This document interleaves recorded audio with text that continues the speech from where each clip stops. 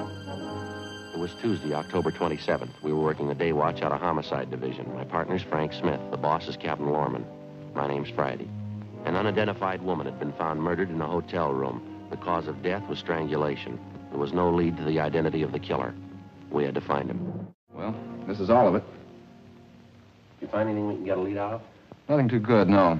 I don't think you could identify her from what we've got here.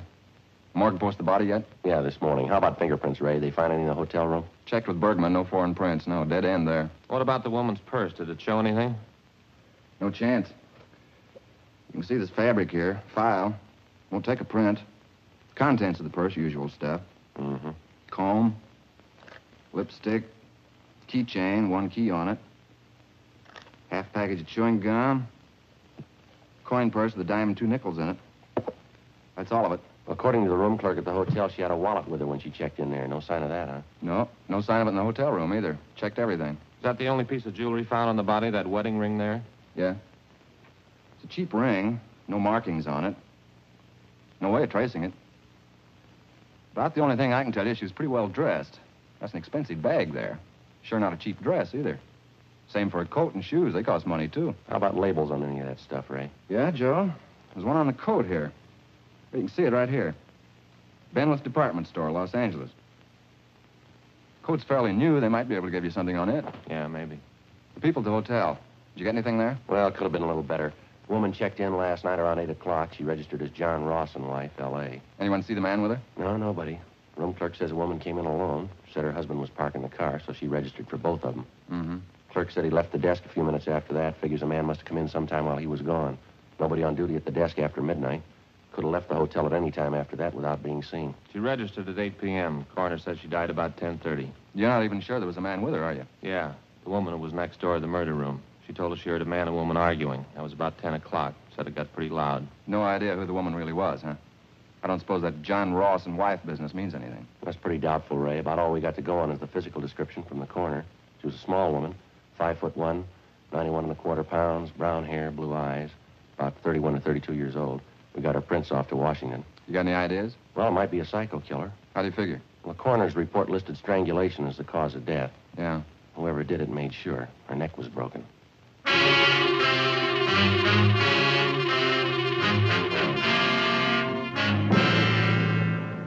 At approximately 6 o'clock that morning, in a second floor room of a downtown hotel, the body of an unidentified woman was found murdered. Preliminary investigation failed to reveal the true identity of the victim or the killer. As far as physical evidence was concerned, there wasn't much to go on. The deep bruises on her neck and throat, along with the crushed vertebrae at the base of her skull, indicated a savage attack. 1.55 p.m. Through the label on the dead woman's coat, we traced the garment to the department store where it had been purchased, but they had no record on it. It was a cash purchase, and the salesgirl couldn't remember the customer. Investigation during the next two days failed to turn up any leads. We showed a morgue picture of the victim to bartenders, waitresses, parking lot attendants in the vicinity of the hotel. They couldn't identify her. We rechecked tenants and employees at the hotel. It got us nothing.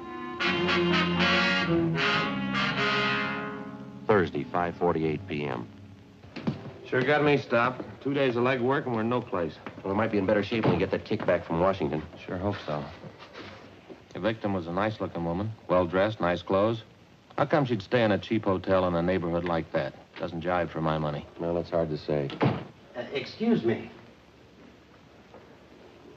Yes, sir. Can we help you? Well, I don't know. I guess that just depends. I'm waiting to see a couple of detectives here. Well, who'd you want to see? A couple of detectives. Who are they? Well, this is pretty confidential, you know. I have to talk to them myself. They told me to see Friday and Smith. Frank Friday and Joe Smith. Detectives, they're handling the case. Well, yes, sir. I'm Joe Friday. This is my partner, Frank Smith. What can we do for you? Well, Fred, uh, they say that you're working on that murder case, that woman who was found in the hotel. Yes, sir. That's right. Mm-hmm. Could I see your badges? Yes, sir. Here. That looks authentic. There's my ID card. May I? Yeah. Nice likeness. Hmm, O, Good blood. Now, I've been reading about that murder in the papers. You're going to thank me for this. I got all you want to know about that murder. You mind telling us your name, sir? I don't mind. L.P. Morgan. I was a good friend of hers, you know. Used to work with her. You mean the dead woman? Same one. Never forget a face. Maud McLeod. I saw that picture in the paper and I said to myself, there's old Maud. You pretty sure of that, are you, Mr. Morgan? Sure, I'm sure. Maud McLeod. We used to work together in the circus. Maud was a bareback girl, you know. Best in the country.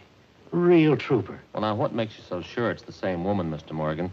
When was the last time you saw this friend of yours, this Maud McLeod?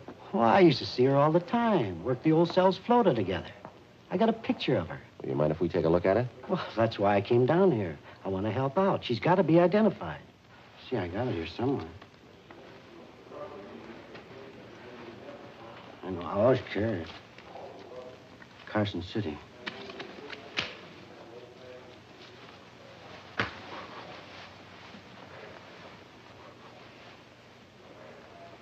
I know. I. Oh, here it is. It's Maud in her circus costume. Awful pretty.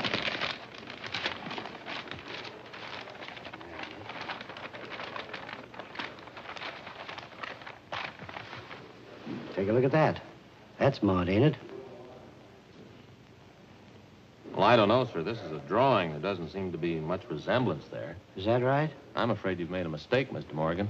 Thanks for your cooperation, anyway. Appreciate you coming in. I was sure it was Maud. I'll get it. Homicide Friday. Oh, yeah, Ed. Uh-huh. Is that right? What'd it say? Uh-huh. Okay, fine. Yeah, we'll pick it up. Thank you. Anything? Communications. They just got the kickback from Washington on the dead woman's fingerprints. Any luck? Yeah, they got her identified. Worked in an aircraft plant during the war. Her name's Doris Frazier. I can't help but think you fellas are missing a bet. I know that dead woman. Well, no, sir. She's already been identified, Mr. Morgan. We know who she is. Her name's Doris Frazier. That's so. Yes, sir, that's right. Well, what do you know about that? Old Maud.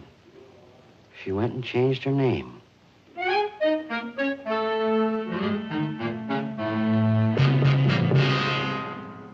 6.35 p.m. Frank and I went down the hall to communications and got a copy of the kickback from Washington. The murder victim was identified as Doris Allen Frazier. She applied for a position as a typist at the Eagle Aircraft Plant in Burbank in 1942. Next morning, we checked the personnel office at the plant, and we found that Doris Frazier had been employed as a typist from 1942 to 1944.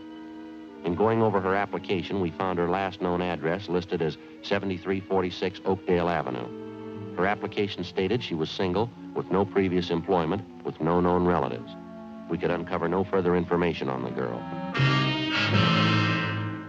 We drove across town to the Oakdale Avenue address, a large apartment building in a better than average neighborhood. The manager told us that Doris Frazier had lived there up to 18 months before. He said that a few weeks before she moved, she was married, but he was unable to remember the name of her husband. The manager also told us that the newly married couple apparently began having trouble from the day they were married. We checked the next forwarding address, a boarding house for women in the southwest end of the city. Frank and I interviewed the woman in charge, a Mrs. Frances Watson. We talked to her in the dining room of the boarding house, where she was polishing a set of silverware. Well, of course, when she first came here, we didn't know it, but she was married. This is a home for single girls, and we have our rules and regulations just like any other respectable place. Yes, ma'am. Well, as we came to find out later, Doris wasn't only married, but she was fighting with her husband. I understand he wasn't much at all. She was thinking of getting a divorce, as a matter of fact. Did you ever meet her husband, Miss Watson? No, I never did. I suppose it's just as well I didn't. I understand that Doris left him after they'd been married only a few months. Uh-huh. Do you know what his name is, ma'am? No, I have no idea. Doris always used her maiden name when she was with me. And you never saw the man, Mrs. Watson. He never came to the house here. No, I didn't say I never saw him. I said I didn't meet him. Yes, there was once when he came to the house to see Doris. Well, what was the occasion? Would you mind telling us about it? Well, it was most unpleasant, I can tell you that. Let me see now. Yes, Doris had been here about six months. Even by that time, I was beginning to see the real side of the girl. No character, officer. No character at all. It shows up every time. Yes, ma'am. Would you go on, please? Well, as I was saying, it was after about six months when this man brought Doris home late one night. About a quarter till midnight, I'd say. Upset the whole house. Well, how was that, ma'am? The two of them, this man and Doris, they stood right out in the hall there. They had a terrible quarrel. The language, it was dreadful. At the top of their lungs, too. My husband went out to quiet them down, but the man left before he had a chance to call him down. Upset the whole house. Mm -hmm. This man that the Fraser woman was arguing with, you sure it was her husband? Well, as sure as I can be. That's what Doris told me, anyway, the day after. I called her in and told her I just couldn't tolerate behavior like that. It upset her quite a bit, I remember. She cried, said it wouldn't happen again. That's when she told me she was trying to get a divorce. Was that what the big argument was about, would you know? Yes, she said she wanted the divorce. Her husband didn't. He wanted her back with him. Certainly is sad the way some people mix up their lives. Yes, ma'am. By any chance, did you ever get a good look at this man, the husband, I mean? Well, he was tall and had dark hair. That's about all I remember. He was well dressed, too. I see. When Doris Fraser left here, Mrs. Watson, did she leave any forwarding address with you? No, she didn't. I haven't any idea where she moved. What kind of work was she doing while she was living here? Do you have any idea where she was employed? Yes, that was one of the references she gave me. Furniture company down on Venice Boulevard, if I remember correctly. I have the address in my record book. Certainly is unfortunate, the whole thing. Yes, ma'am, it is. I even tried to talk to her before she left. Sat her down and talked to her for a whole afternoon. Guess it was just a waste of time. Well, how's that, ma'am? The trouble with her husband, terrible thing. He seemed to treat her so badly. Two of them fighting all the time. I believe she was actually afraid of him. She told me he was very jealous. He drank, ran around. That's why I couldn't understand it. Couldn't understand what, ma'am. Doris, when she moved away from here, Yeah. she said she was going back with her husband. The landlady, Frances Watson, gave us the address of the furniture store where the murder victim had been employed, and we drove down to check with the personnel manager, a Mr. Collins. He said Doris Fraser had been fired from her job ten months before. He said she'd been let out because she was constantly late for work and that she got into the habit of asking for salary advances too often. Collins also told us that he'd heard about the trouble between the Fraser woman and her husband. He said he'd seen the husband in the store several times when he came to call for his wife. He identified the husband as Stephen Arnold. The personnel manager gave us the last known address they had on the victim. The following morning, we checked it out an apartment hotel in the East Wilshire area. She was still registered there, together with her husband, Stephen Arnold. But the desk clerk told us that Arnold hadn't been living there for the past three months. He had no idea where Arnold had moved, and he didn't know where he worked. While the desk clerk stood by, Frank and I went upstairs and checked the apartment. You find anything, Joe? Not too much, no. Nothing in the bedroom. Like Ray says, she likes nice things, but that's about all I can figure. Mm-hmm. What you got there? Looks like a letter she started and she didn't finish it. It's dated October 23rd. What's it say? Dear George, I've been meaning to write you before. That's all. That's as far as she got. George, huh? That's the first time we've run to that name on this deal. Yeah. It Means there's more than one man in her life. A few more letters and bills here. All unopened. Yeah. Ad from a woman's store. Another ad, telephone bill, postcard. Here's one postmarked Santa Monica. Check the name of that return. Yeah. Stephen Arnold.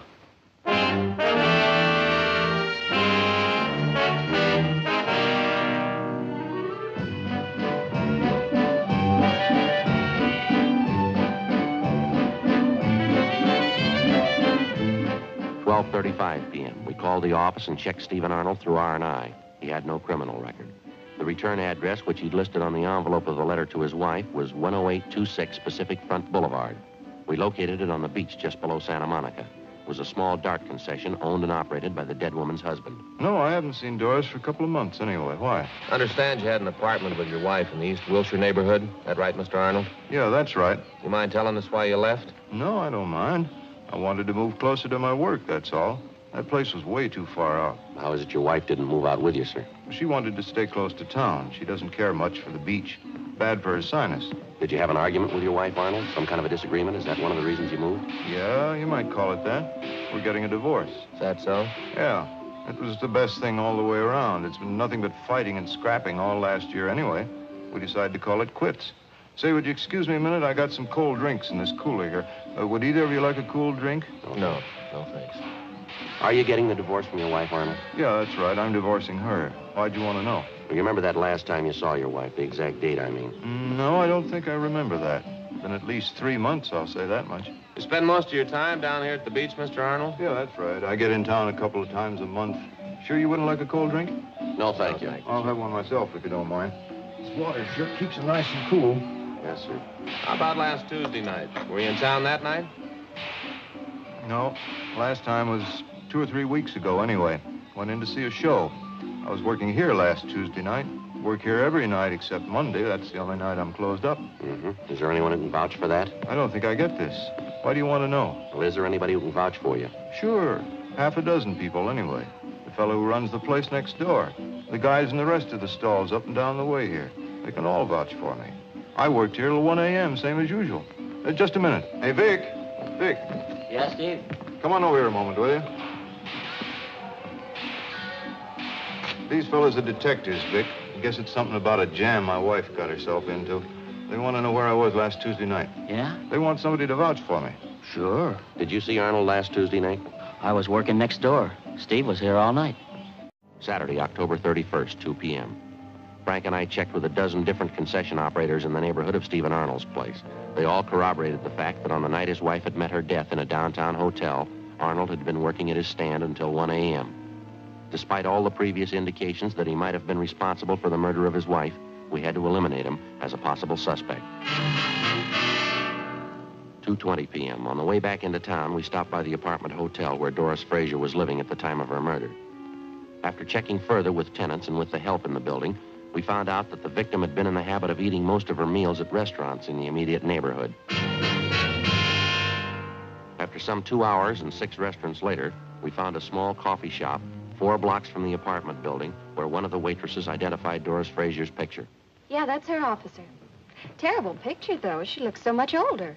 About how often would you say Miss Frazier came in here, ma'am? Oh, three or four times a week, I'd say. The bus stop is right out there on the corner. She'd usually have breakfast and then grab the bus and go to work. Some nights coming home from work, she'd stop here for dinner. Nice girl. Quiet. Did you get to know her at all, miss? I mean, do you happen to know any of her friends in the neighborhood? No, as I say, she was a quiet person, not very talkative. Usually read while she was eating. Magazine or a book. Did she ever come in here with anyone else, would you know? Oh, yes, quite a few times. She seemed to have the boyfriends. Of course, she was attractive. Small, you know, but real cute looking. Mm-hmm. Do you happen to know any of these men? No, I'm sorry, I don't. Any one of them in particular that she came in with very often? Let's see. I think there was one. Was dark, uh, well dressed, uh, kind of tall, good looking. They usually came in together for breakfast. How long ago was this, miss? Would you recall? Oh, I'd say up till a couple of weeks ago. I usually waited on them in the morning. That's how I happen to remember. I see. Did you ever happen to hear this man's name? Let me see. George. uh, I think that was it. Yeah. Would you happen to know if he lives in the neighborhood? No, I'm sorry, I don't. Has this man been in here during the past week, do you know? Yes, he has. He came in for breakfast What day was that? this morning. Before we left the coffee shop, we questioned the cashier who came up with the information that the man known as George usually left his car parked at the service station across the street. We left our card and asked the cashier to call us in case the suspect returned. At the service station, they also remembered the man known as George, but they told us that he hadn't been in for the past two weeks. They'd done some work on his car for him in the past, so they had a record of his license number. We called our DMV and found that the car was registered to a Carl Lucy in East Hollywood. 4.30 p.m. We drove out and interviewed Lucy at his home, but he came nowhere near the description of the suspect. He told us that he had purchased the car six weeks before from a man known as George Crane. He described Crane as tall, dark, and well-dressed. From the bill of sale, we got Crane's address, a motel on East Manchester. The manager there told us that George Crane had moved a week before. He said that Crane had left no forwarding address, but he did remember where he worked. He gave us the name of the aircraft company in the San Fernando Valley. We called their personnel office, but they were closed for the day.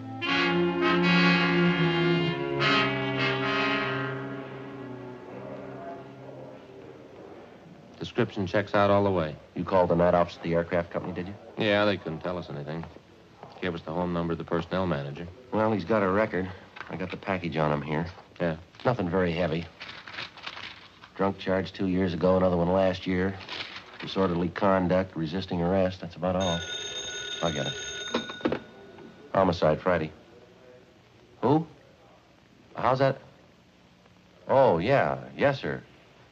No, no, I'm afraid not. Well, we sure. Certainly. Yes, we are. Yes, sir. Thanks anyway. Right. Goodbye. Well, that does it. Who was it? You know that guy was in here the other day, that Al P. Morgan? Yeah, what do he want? He wanted to buy us a drink. He's celebrating. Huh? His old friend Maud, he just found her.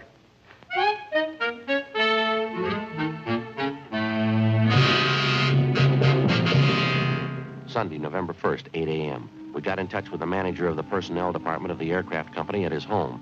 He said that he'd checked the files for us. 8.42 a.m. He called back to tell us that George Crane was employed as a maintenance man in the electrical department, that he'd been working for the company for the past five years, and that he had a good employment record. He told us he was on the day shift, and that he was scheduled to report for work in the generator room at 8 o'clock that morning.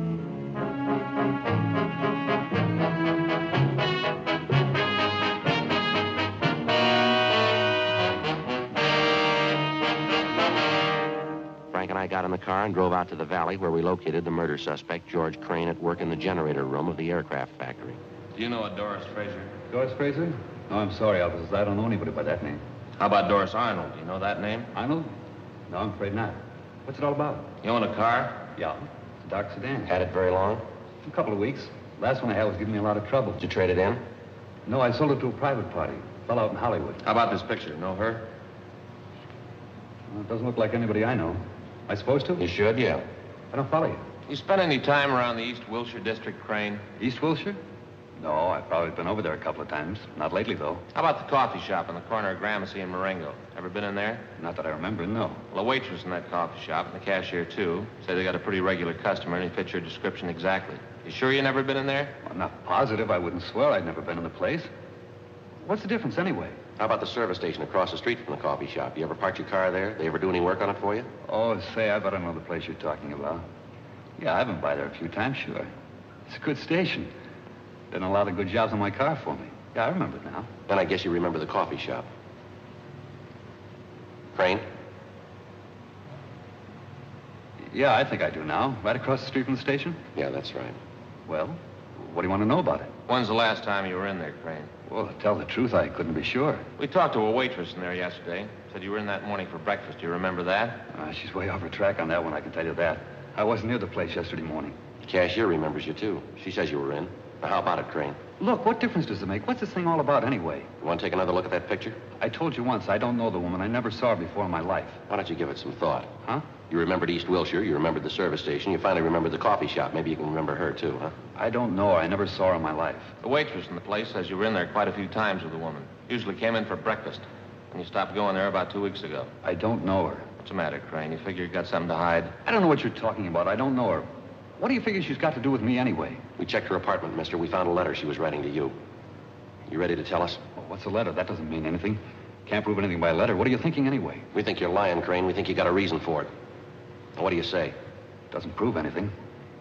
Maybe I knew her. Doesn't mean anything at all. We think it does. Yeah? We think you killed her. The way it looks to you? That's the way it looks. I don't think you can prove it. We're going to try. Now, how about it? Will it go any easier for me if I admit it? That's not up to us.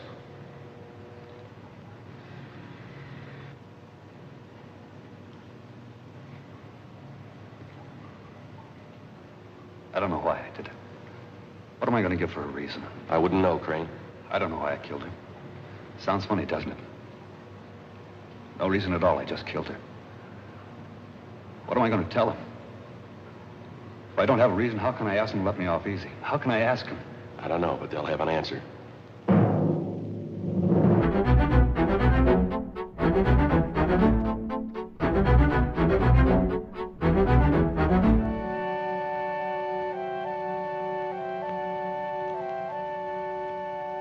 February 8th, trial was held in Department 89, Superior Court of the State of California, in and for the County of Los Angeles. In a moment, the results of that trial.